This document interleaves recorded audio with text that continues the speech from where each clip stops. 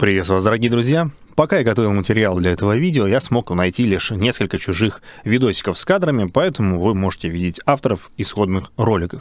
В самом же видео я расскажу обо всех существующих на данный момент играх под брендом Counter-Strike. Разумеется, расскажу немного и о том, как оно вообще появилось и развивалось. В общем, добро пожаловать на канал New Games Projects. Меня по-прежнему зовут Владимир, и мы начинаем. А начинаем мы не с Counter-Strike 1.0 или даже не с Half-Life, а как бы это было ни странно и не звучало подозрительным, со второй игры в серии Quake. Вообще не думаю, что для кого-то сейчас является секретом, что знаменитый движок Gold SRC, он же первая версия Source от Valve, является лишь модифицированной версией той самой Quake от Carmack. А сама Counter-Strike изначально была модом для халфы. Но начнем мы именно с того, что идея Counter-Strike зародилась еще во времена второй Кваки и вылилась в мод Action Quake 2. Конечно, Основная суть этого мода сильно сейчас разнится с привычной нам Counter-Strike. Но именно тут появилась идея заменить всякие там футуристические пушки на всем привычные автоматы, дробовики с ножами и винтовки. Набор стволов, кстати, перекочевал в контру почти в полном составе. Ну, пропала вроде только двустволка, да и возможность метать ножи. Вообще, Q-Action а, живой и здоровый до сих пор. А незабываемая динамика, дух старых добрых боевиков 90-х, которые хотели передать авторы, делают Action Quake 2 офигенной игрой и по сей день. Она действительно отлично играется, она действительно круто ощущается, динамика просто бешеная. Немножко плоховато выглядит, но это не порог. Собственно говоря, Именно кадры из нее вы видите сейчас на экране. Заострять же внимание на Quake Action в данном видео не будем. Если хотите отдельно, поговорим обязательно, пишите в комментах.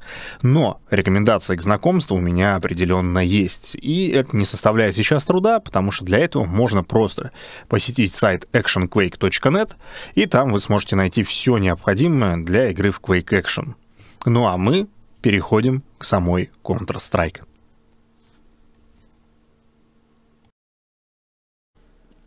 Перед первой версией, правда, были разные бетки.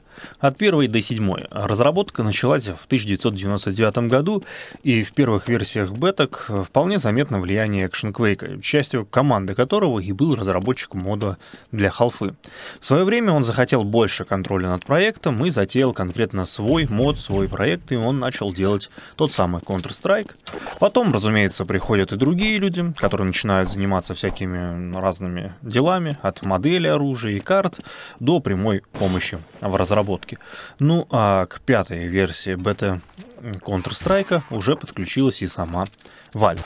Вообще, это довольно большая интересная история, способная собрать целый отдельный видос. Можете написать в комментах, если хотели бы послушать эту самую веселую историю. Перевел записи всякие разные, скомпилировал из них полноценный выпуск и, собственно говоря, выдал в видео формате. То есть по теме, например, да, там, как создавалась Counter-Strike. Это довольно интересная штука. Я вот пока списал этот небольшой сценарий, посмотрел, э, в том числе почитал, да, что там было, как создавалось. И это реально прикольная тема. Ну ладно, вот уже в 2000 году вышла первая такая полноценная версия Counter-Strike.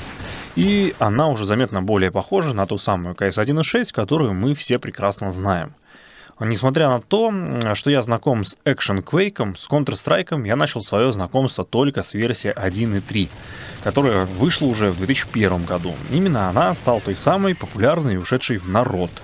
А, насколько я помню, там еще, кстати, бомбу можно было ставить то ли на ходу, то ли только с прыжка. Короче, в любом случае, бомбу можно было просто воткнуть вне зоны плента, там, выпрыгнув за него и просто бомба улетала, короче. Можно было нормально так прикалываться. Там еще были всякие прикольные команды, типа, позволяющие подходить к ящику и делать его не. Ну, короче, в общем, были свои нюансики, да, которые знать надо. Вот, еще через год выходит Counter-Strike 1.5, и вот она реально стала прям мощным мейнстримом, она заполонила все наши компьютерные клубы, и мы, собственно, я помню, довольно долго играли именно в 1.5. В общем-то, все играли повально с пираток, да, и о существовании Стима практически никто не знал, поэтому переход на 1.6, вышедший еще через год, то есть в 2002,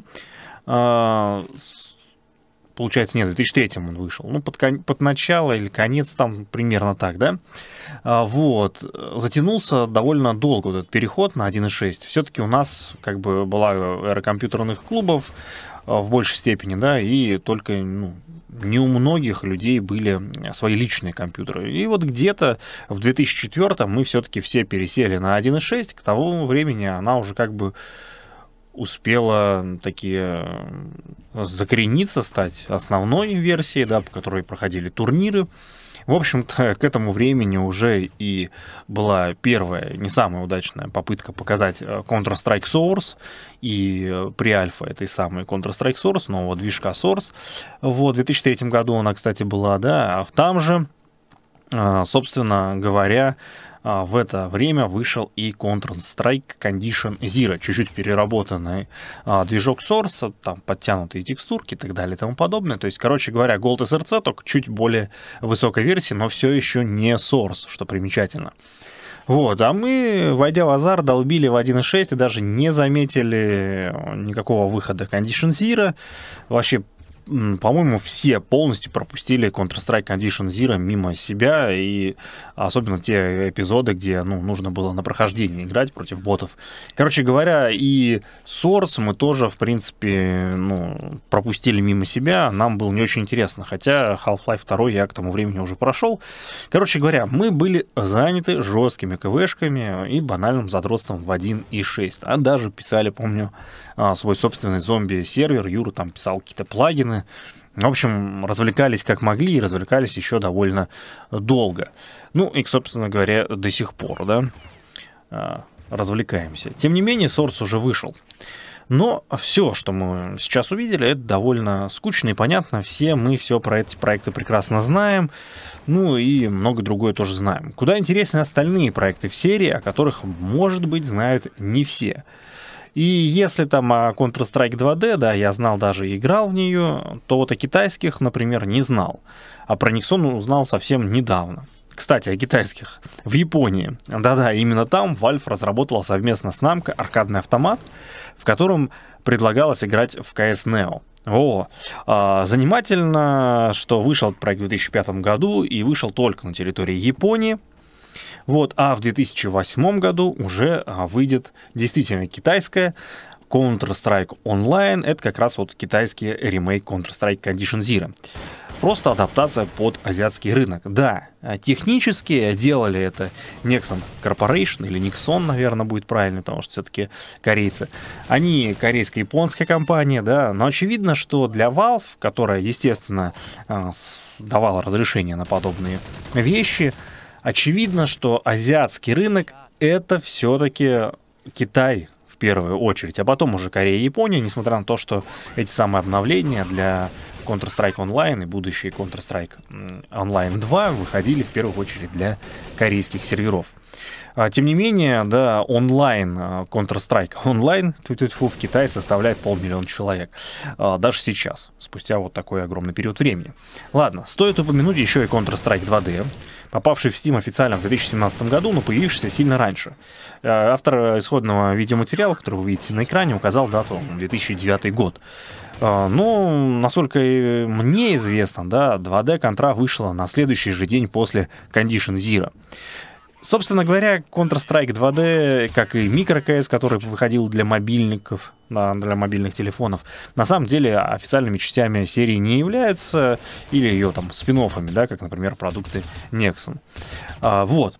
А, в 2011 году мир увидел первую бета-версию Global Offensive. Counter-Strike Global Offensive, то была закрытая бета, насколько я помню, и, по-моему, даже у меня был ключик, и у знакомых точно были ключики, они играли. А, но это не столь важно, ведь в 2012 году вышла первая версия самой CSGO.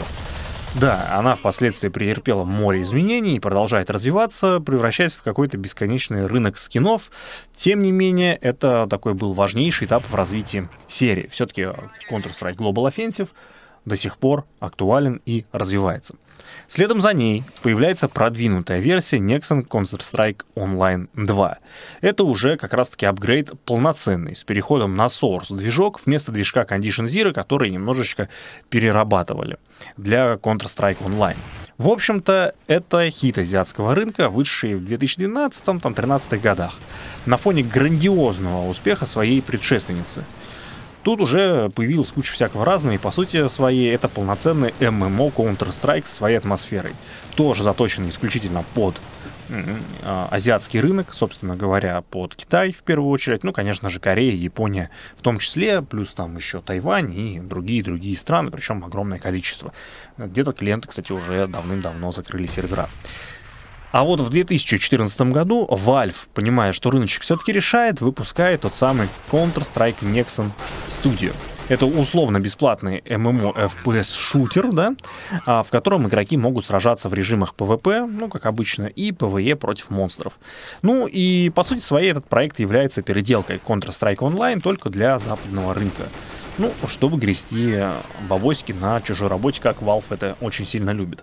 То есть это, по сути, тот же самый Counter-Strike Online от Nexon, только сделанный специально под а, наш европейско-американский рынок.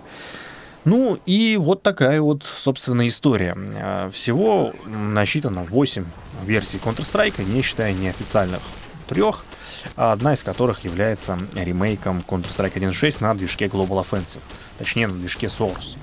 Она тоже попала в Steam, по-моему, в 2017 году. Этот Classic Strike, он сейчас вроде закрыт, потом вроде открылся. Короче говоря, не в курсе.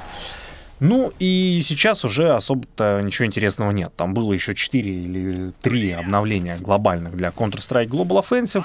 Но, по-моему, это и так заезженная тема. В общем-то, рассказывать здесь особо нечего.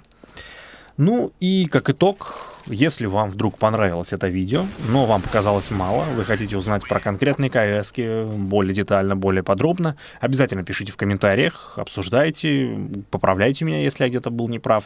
А, в общем, такое вот дело. На этом буду прощаться. Огромное спасибо за внимание. Всем спасибо. Лайки, подписки, бубенцы, группа ВКонтакте, беседка в Дискорде. Залетайте, общайтесь радуйтесь. У меня на этом все. Пока-пока и скоро увидимся.